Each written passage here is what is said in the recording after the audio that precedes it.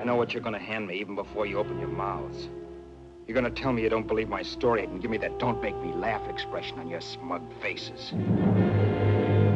Look, I'll tell you what. You stay put out there. I'll come to you. Let's get married right away. How far are you gone? L.A. Not many people stop for a guy these days. Afraid of a stick-up, maybe. This buggy belongs to a guy named Haskell. That's not you, mister. Now, wait a Shut minute. up. You're a cheap crook and you killed him. So what else was there to do but hide the body and get away in the car?